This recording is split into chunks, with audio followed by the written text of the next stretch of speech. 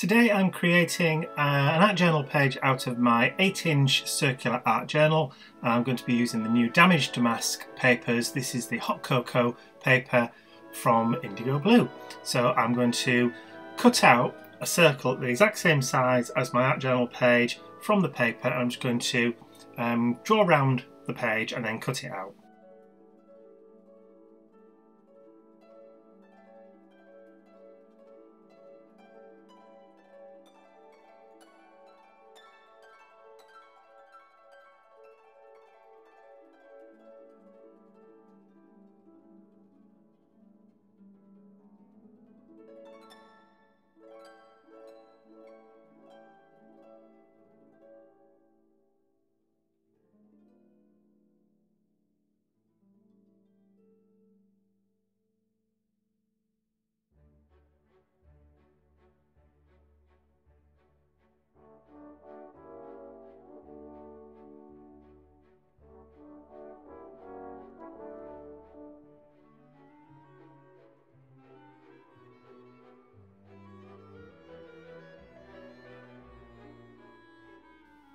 Once I'm happy with the size of the circle, I don't mind that the fact that there's going to be a little bit of a white border all around, that will be disguised later on.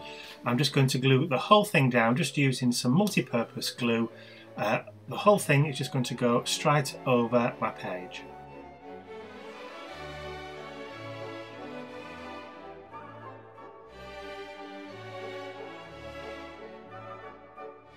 So uh, as you can see, I'm just spreading the glue around with my fingers to make sure there's a fairly even coating all the way around. Then I'm just going to flip it over and stick it down onto my art journal page.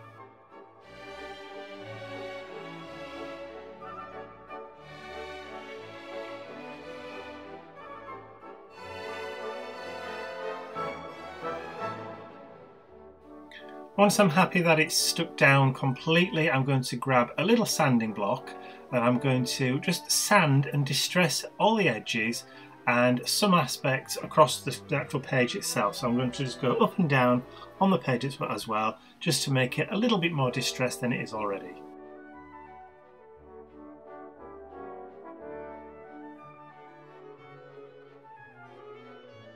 And to remove all of the paper dust that's stuck to the page, I'm just going to rub over the entire thing with a baby wipe.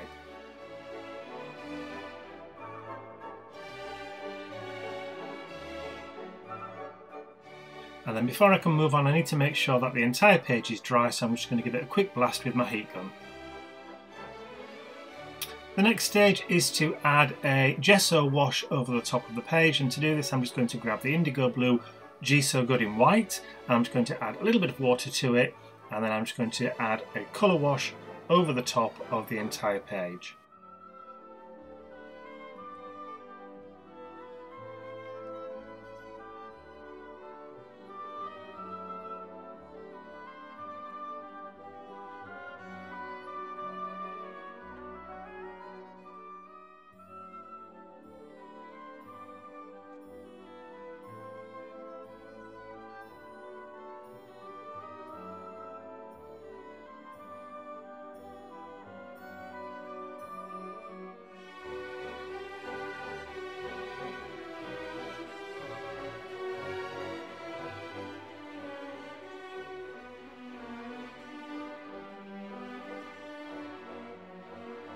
So I'm happy with the amount of gesso that's on the page now. The pattern has been knocked into the background and all that remains to be done for this section now is just to have a quick tidy up and then we're ready to move on to our next stage of creating the art journal page.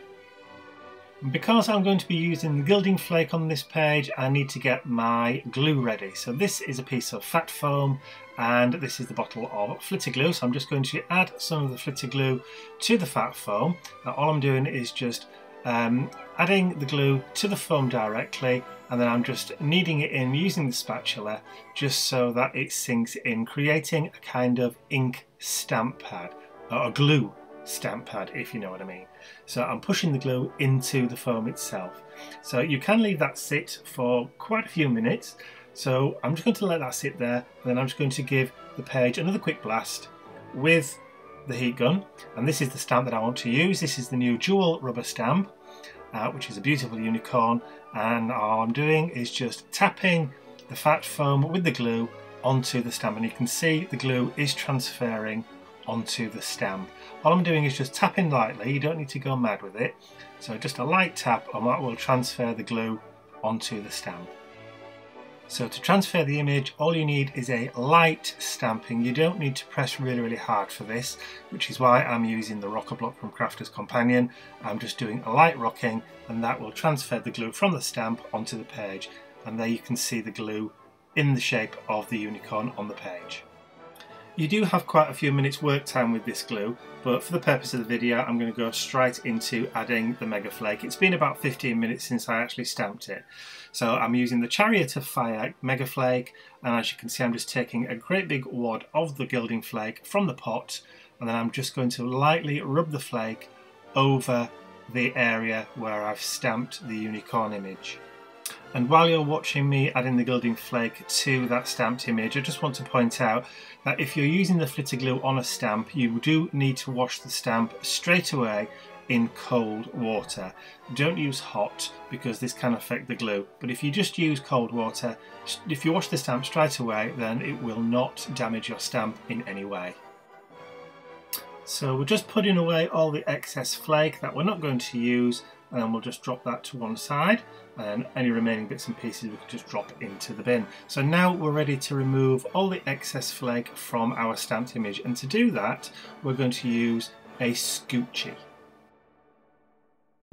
And as you can see, all I'm doing is just gently rubbing over the top of the stamped image with the scoochie, and that is removing any of the excess gilding flake that hasn't stuck to the glue and you can see what a beautiful shine you get using that Chariot of Fire gilding flake.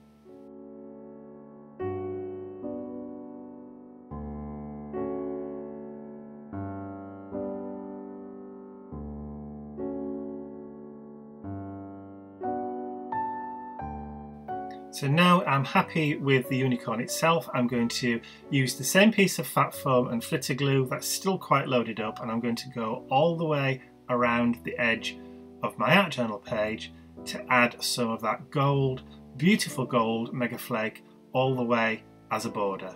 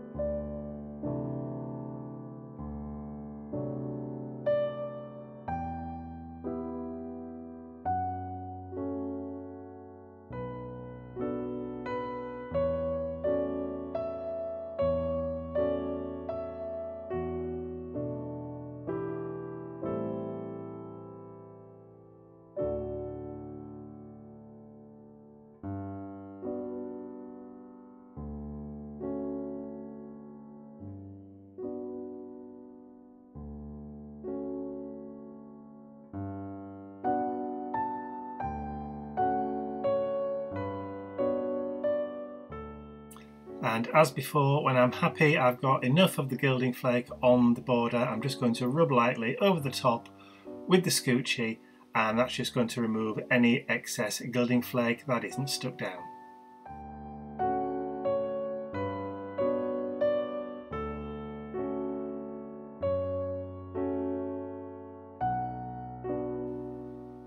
So I want to add a little bit more dimension, a bit more depth into the background and to do that I'm going to bring out one of the IndigoBlu new stencils. This is the Damaged Damask stencil which goes with the papers and this is the English Cottage Artiste acrylic paint and this is the Goldfinger uh, metallic paint. So just using a craft sponge I'm going to just put some of the gold paint through the stencil using the sponge. You could of course use a stencil brush if you have one.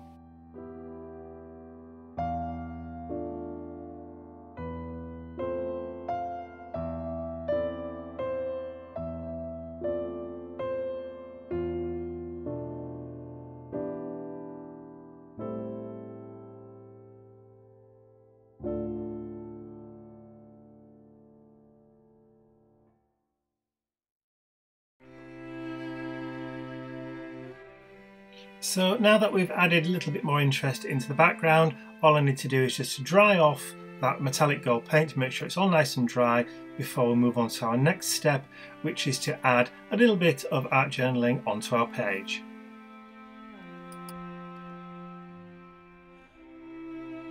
So I've already printed and cut out the quote or the phrase that I want to use on my art journal page and all I'm going to do is to stick it down onto my art journal page using this um, standard glue stick from Pritt. It's just the original glue stick from Pritt.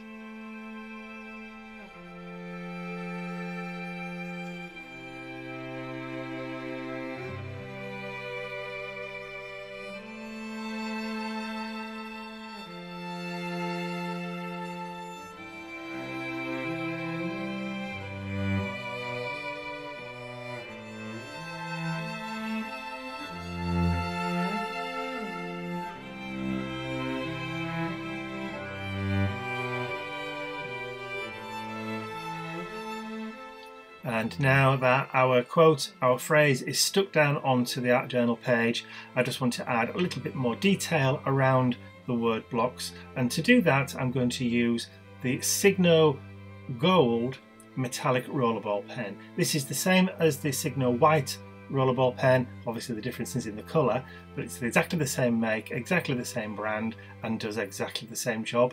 It's just this one is gold. So as you can see, all I'm doing is just adding a little bit of doodling, a little bit of scribbles around my word blocks, just to add a little bit more interest, just to kind of blend those into the background a little bit more, rather than just have the stark white blocks as you can see them.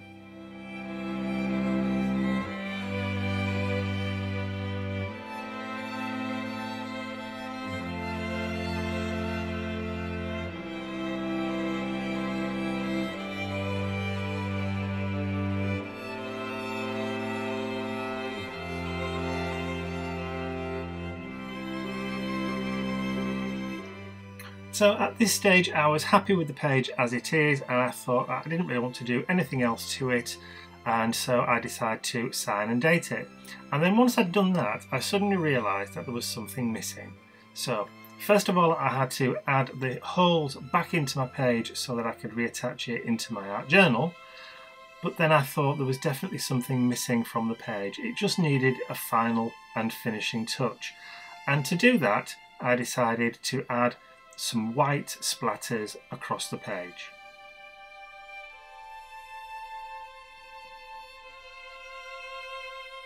So to add the white splatters I've just taken the IndigoBlu white gesso once again and all I'm going to do is just to add a little bit of a blob of the white paint onto my craft mat and then I'm just going to spritz it with water to water it down a little bit and then mix it together using my fan brush that will then allow me just to splatter the white paint across the page. Again, this just adds a little bit more visual interest and helps to break up those blocks of patterns in the background. And I think you'll agree, it does look a lot nicer with those white splatters on the page. Happy now. And that's it for this page. I'm calling this complete.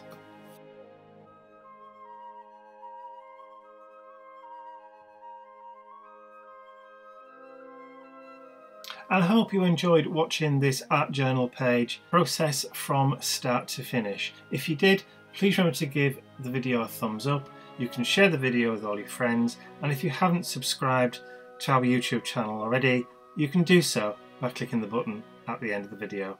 That's all from me for now. I will see you all again real soon. Bye for now.